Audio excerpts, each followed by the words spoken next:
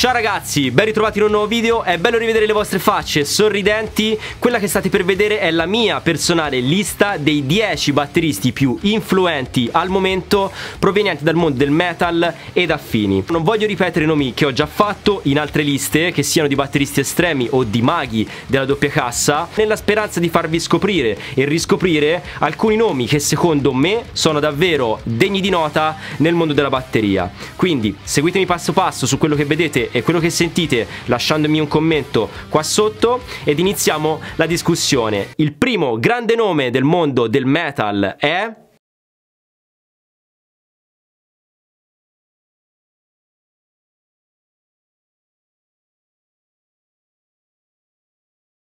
Mario Duplanter, nessuno sta suonando come Mario. Vi dico a cuore che lui sta lasciando un'impronta indelebile nel mondo del metal e sta influenzando migliaia di batteristi. Nego Gira, la sua band, nella quale milita con suo fratello che invece ha la voce e la chitarra, mescola abilmente componenti del progressive metal, blast beats e ritmi tribali. Il suo stile è vario, maledettamente preciso ed innovativo, numero uno nel mio cuore. I miei lavori preferiti dei Gojira sono l'Enfant Savage e Magma. Valli a scoprire assolutamente se non li conoscevi prima e fammi sapere cosa ne pensi con un commento. Passiamo subito al prossimo.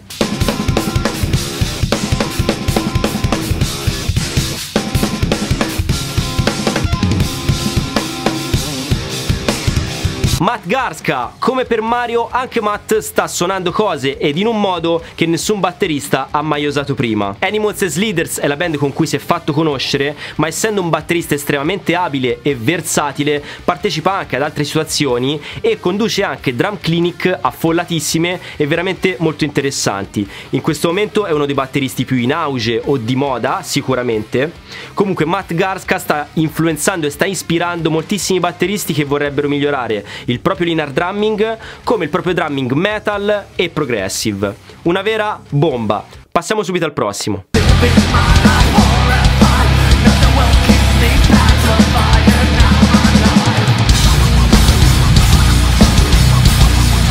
Ray Lucier, Ray è riuscito a portare innovazione ad una delle band più innovative della storia, i Korn, band nella quale lui milita dal 2009. Ha anche apportato più articolazione ai vecchi brani che suona on stage ed un suono ben definito ai nuovi album che ha registrato con la band. Il suo drumming è complesso ma semplice allo stesso tempo, con molti orpelli ma dritto al punto e maledettamente preciso. Vi consiglio caldamente di andarla a scoprire. Ma passiamo velocissimamente verso il prossimo.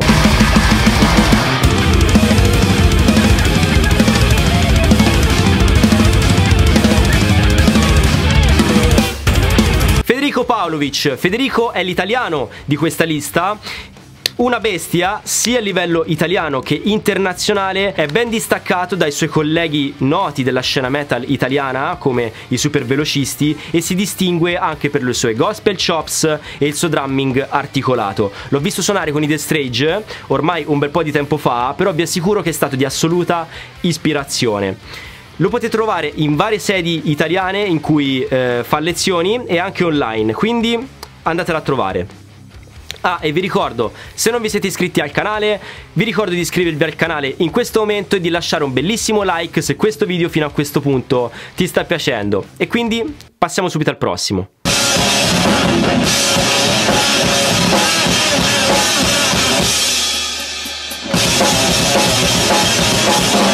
Chris Penny, a questo punto del video avrei voluto inserire qualche eroe del metalcore britannico, tipo il batterista degli Architects o dei primi degli Horizon, ma ho voluto includere questo drumming in Chris Penny, che è l'ex batterista e uno dei fondatori dei Dillinger Escape Plan, gruppo che ha pesantemente influenzato anche il metalcore grazie alle loro ritmiche intricate, molto frenetiche e sincopate che si trovano all'interno dei loro brani.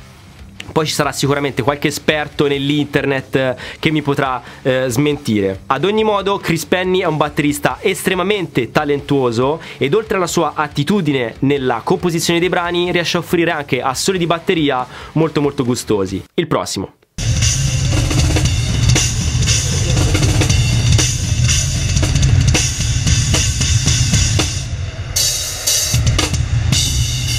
Jay Wimberg, attuale batterista degli Slipknot, come il suo predecessore, che non nominerò in questo video anche se ci starebbe, anche lui è un grandissimo batterista e sta influenzando una generazione. Dalle radici punk e hardcore, ma anche rock, visto che ha collaborato anche con Bruce Priesting, riesco a sentire le influenze che Joy Jordinson ha avuto sul suo drumming. J.E. come Ray Lewiser è entrato in un'istituzione, non in una band, quindi in molte cose è simile a Joy Jordinson, però in realtà si riesce a percepire che ha portato una nuova ondata di energia fresca alla band.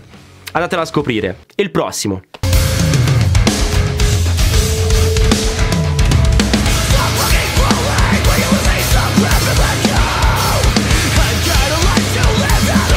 Non so se è così anche per voi, ma ci sono due batteristi che nella mia mente si accomunano, non solo perché condividono il nome, ma anche per disumanità del modo di suonare, innovazioni che stanno portando al mondo della batteria e tecnica ai massimi livelli. Uno è Matt Garska, e ve ne ho già parlato, e il secondo è Matt Alpern, il batterista dei periferi. Come alcuni di voi avranno già visto quando ho spiegato il metal estremo a mia nonna, se non avete visto quel video ve lo lascio qua su da qualche parte, Matt Alpern sta anche inserendo dei blast beats all'interno delle sue composizioni con i periferi. Ad ogni modo, anche quello che ha suonato negli album precedenti ha assolutamente dell'incredibile, un vero animale, tecnica e musicalità a livelli altissimi. Wow, Stiamo procedendo velocissimi verso la fine di questa lista, mancano solo gli ultimi tre e quindi passiamo al prossimo. Ma prima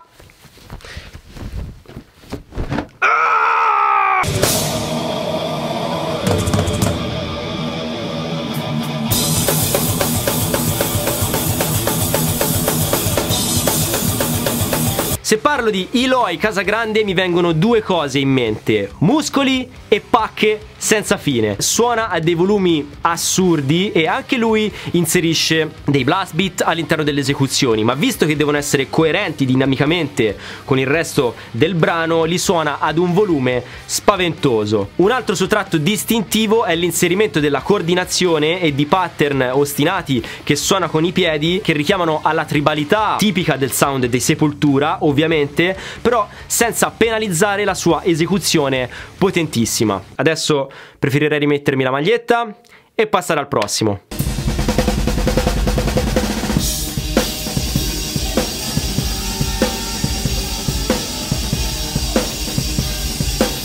Bran Daylor, ultimamente sono ossessionato dal drumming di questo batterista che avevo già citato nei batteristi cantanti, ma solo come menzione onorevole, meno male.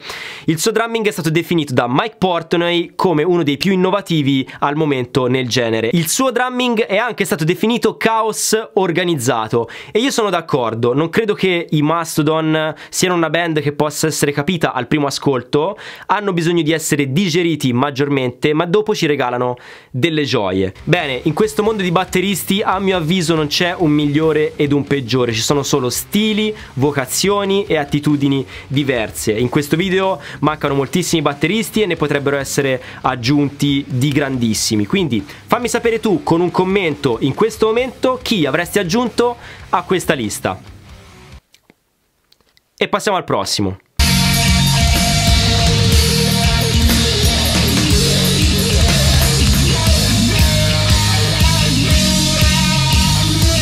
Danny Carey, un altro batterista in una delle band più innovative che suona e che mescola vibrazioni ed energie diverse i Tool. Per me non sono mai stata una band di facile ascolto, ma devo ammettere che il drumming di Carey è assolutamente innovativo, a partire dal suo setup, che è un set ibrido, quindi una parte acustica e una parte elettronica, dei pad elettronici che cambiano l'intonazione a seconda di dove vengono colpiti mischiati a due casse di bronzo pesantissime, un Charleston messo centrale, controllato con un remoto, e ha non dei tom, ma dei rototom. Danny è un percussionista dentro a un batterista, infatti ha suonato ed ha studiato le tabla con un grande maestro per molto tempo e all'interno di alcuni brani dei Tool si possono sentire appunto le tabla suonate da lui. Bene, siamo arrivati in fondo a questa lista, spero che vi sia piaciuta e spero che ne abbiate preso spunto, che abbiate voglia di studiare, di suonare, di migliorare, di vivere di più. Quindi anche per questa volta è tutto, io mi chiamo Bernardo Grillo e noi ci vediamo nel prossimo video. Ciao!